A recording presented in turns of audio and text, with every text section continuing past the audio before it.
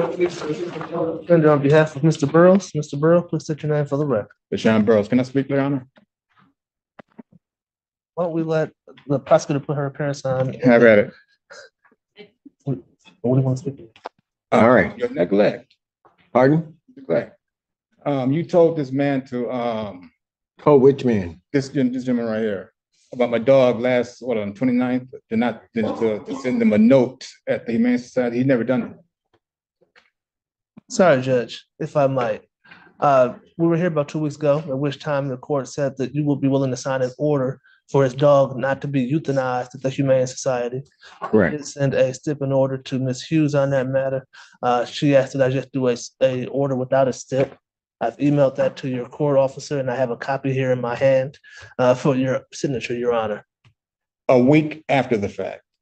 I called him maybe like five, six days later to, to, you know, to see what's going on with that. Okay, so, sir, Yes, frankly, Mr. That has, the dog has nothing to do with your case. Okay. Mr. Feaster is not your caretaker. understand? Mr. Feaster didn't have to do anything.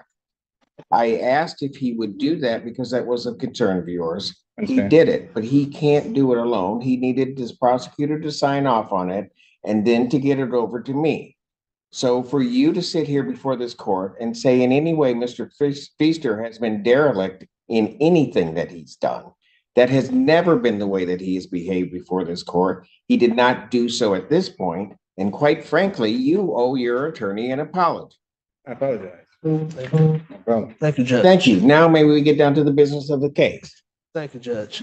Uh, in trying to move these matters forward for Mr. Burrows, we could set these matters for preliminary, preliminary examination, please, Judge. This is the order that he was, that he was derelict in getting to us?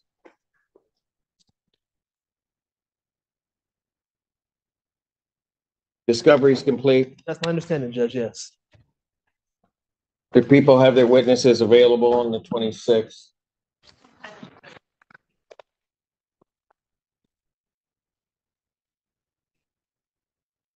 Preliminary examination in this matter will be set in person.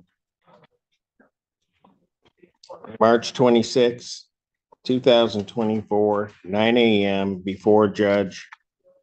Before me? Okay. Before me. Bond will continue. I have signed the order. That he- You want a, you want a copy that you can get over to the Humane Society, Mr. Feaster, Please, in, Judge. as your dereliction in your duties Thank you so much. to everything? Thank you so much. You Judge. sure?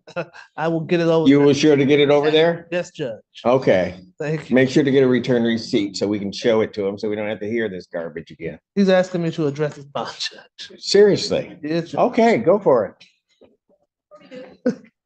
Sorry, all three files are scheduled for exam, right? Yes, Thank you. That's They are all three set on that day. You can, Thank you very much, Judge, again for signing the order. And just speaking to my client, uh, we set this matter for exam to try to get this matter resolved as swiftly as possible for Mr. Burrows.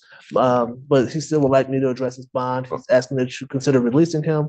I made the same argument when we were here last time. Uh, and all the same things I said at that time are still true today.